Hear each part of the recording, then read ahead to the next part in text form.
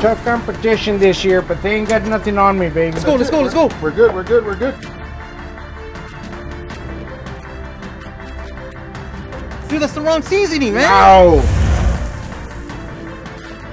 They're using Bisquick. Can you believe that? Wait a minute, this is top sirloin. He's out. The Fajita Cook-Off with crazy cooking teams competing in five categories. Kiddie Corner, family games and activities, and a big country concert with Kyle Park. Free admission and free parking.